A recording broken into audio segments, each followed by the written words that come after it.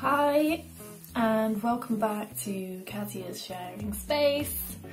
I decided to do a quick video um, purely because I actually have done my hair and makeup.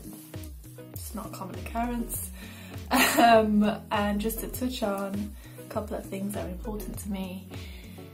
Uh, the reason I am done up today is I'm going to a poetry evening and um, I, I've always done poetry, I've never performed it.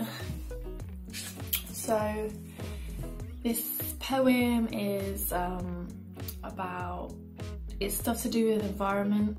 Um, without going into the whole poem, it's to do with water, the importance of water, how we take it for granted, um, what it means to different people, what it means to us now in the Western world and what it has done previously.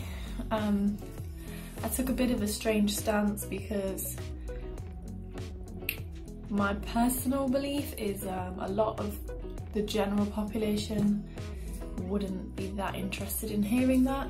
Um, and just general environmental talk. It's not often that I actually come across people who really want to engage and listen to these things. So I thought let me take a different stance and um, I actually wrote it in almost like a relationship way. So it's how how water is treated and abused and taken advantage of and all these different things. So it's written from the perspective of water and how us as humans use water. Um, it's a little bit rude and sexual, but that's purely to grab the audience's attention and hopefully get the message to sink in with them. Uh, I do say at the end of the poem, you've been listening to a poem about H2O. Fingers crossed, um, they'll get it if they don't, fingers crossed they might go away and do a little bit of research. Um, and yeah, it's just something that I'm passionate about. And you know, that's what poetry does. Poetry gets you passionate. It's the things that sort of play on your mind and things that you feel strongly about. Um, so today is International Poetry Day.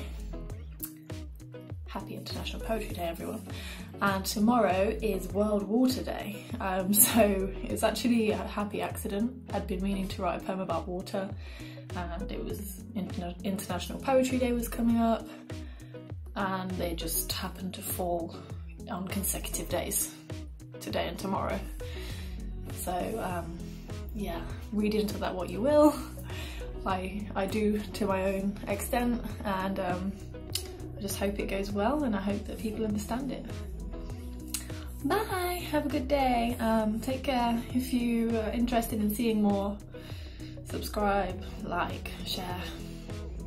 Comment your ideas below if anyone else is interested in expressing their um, love of the environment, sustainability, water conservation in different artsy kind of ways that engage people's emotions, then um, yeah, please share. That's something I'd love, I'd really love to get involved with. If there's other like-minded people, then it would be a dream come true. Anyway, um, yeah, have a good day. Bye.